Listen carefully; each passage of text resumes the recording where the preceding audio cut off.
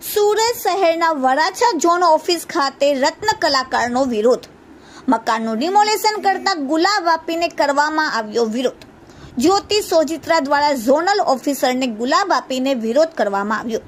માંગ સંતોષવામાં નહીં આવે તો ભૂખ હડતાળની પણ ચીમકી આપી. સુરત મહાનગરપાલિકાની આવી સામે એકને ગોળ તો બીજાને ખોળની નીતિના આક્ષેપ કરાયા.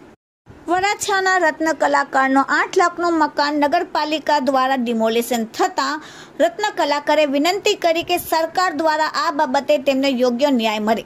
મકાનની બદલે બીજી કોઈ પણ વ્યવસ્થા કરી આપે અથવા રોકડ રકમની સહાય આપે અને સુરત મહાનગરપાલિકામાં આવીને તેમને યોગ્ય ન્યાય અપાવવા માટે સરકારને વિનંતી કરી.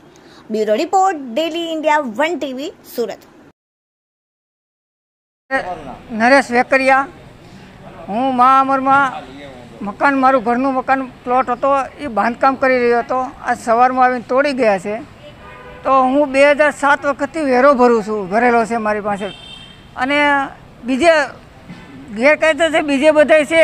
ત્યાં કોઈ પાડતા નથી અને મારું નાના માણસોનું મકાન, હવે હું એક સામાન્ય હીરા ઘસું છું. મારી પાસે બીજા આઠ લાખ કરવા મારે આઠ વર્ષ વ્યાજા છે હું મારે મકાન બનાવવું કે મારા છોકરા ભણાવવા?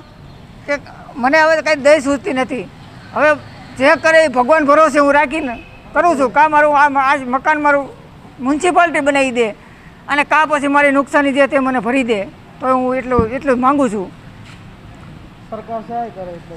અને એક બધું આ વાવાઝોડાની અંદર સરકાર જે મકાન પીડા છે એ એમાં સહાય કરે છે. બીજા નંબરમાં એ લોકોને નળિયા આપે છે. તો જે મકાન પોતાની સ્વ આત્મનિર્ભરથી બનાવે છે, તો એ શું કામ પાડી જાય છે? તો સરકારને પણ મારે એક જ સવાલ છે કે આ રીતનું બેવડું વલણ શા માટે અમારી ઉપર રાખો છો? અમે સામાન્ય માણસો છીએ એટલે અમને હીરા ઘસું છું, હું હીરા ઘસું છું. હીરા ઘસું અમને બે લાખની કોઈ લોન નથી દેતું. તો મારે હવે આઠ લાખની નુકસાની ક્યાં લેવા જાવી? હું સરકારને એક પ્રાર્થના કરું છું કે જો મારી આ વિનંતી સાંભળો. તો મારું કામ, મકાન મારું નુકસાની મારી ભરપાઈ કરાવો અને કાં પછી મને મારા આશરો બનાવવા દો બસ એટલી પ્રાર્થના માંગુ છું.